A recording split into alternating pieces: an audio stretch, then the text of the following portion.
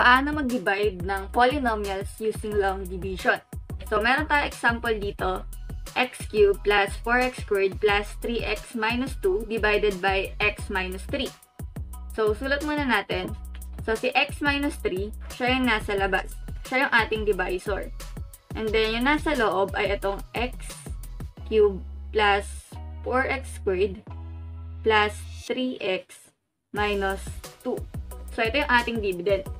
So, ang first step na gagawin natin ay i-divide natin si first term ni dividend or itong nasa loob dito sa first term ng nasa labas. So, x cubed divided by x, ang sagot natin ay x squared. So, minus lang natin yung exponent nilang dalawa. So, 3 minus 1, automatic may 1 dito, okay? So, 3 minus 1, 2. So, after nun, multiply natin si x squared dito sa x minus 3. So, x squared times x, ang sagot natin ay x cubed. Then, x squared times negative 3, ang sagot natin ay negative 3x squared. Then, subtract na natin. So, magiging negative to. Okay? So, magiging negative x cubed. So, cancel na to. Then, ito, magiging plus na yan. Kasi negative times negative, positive. So, magiging 4x squared plus 3x squared. Ang sagot natin ay 7x squared. Then, bring down natin si 3x. So, positive 3x. Then, same process ulit. 7x squared. Divide natin sa x ay 7x.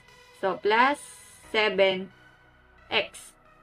Then, multiply natin si 7x kay x minus 3. So, 7x times x, ang sagot natin ay 7x squared. Okay? So, may 1 dito, then may 1 dito. So, 1 plus 1, 2. Then, 7x times negative 3, ang sagot natin ay negative 21x.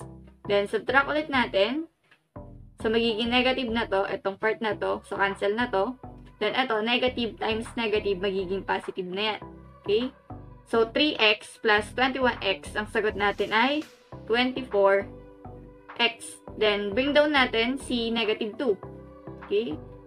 Then, after nito, divide natin si 24x kay x. So, 24x divided by x, ang sagot natin ay positive 24. Then, multiply ulit natin, ito, dito. So, 24 times x, ang sagot natin ay 24x. Then, 24 times negative 3, ang sagot natin ay negative 72. Then, subtract ulit natin. So, cancel na to kasi magiging negative 24x to. Okay? Then, ito, magiging positive yan. Negative times negative equals positive. So, magiging positive na yan. So, 72 minus 2, ang sagot natin ay positive 70. So, positive siya kasi mas malaki si 72 kaysa kay 2. Okay? So, paano natin susulat yung sagot? So, ang sagot dito ay x squared plus 7x plus 24 plus ito, 70 over sa ating divisor. So, x minus 10. Therefore, ito yung sagot natin para dito sa ating sample.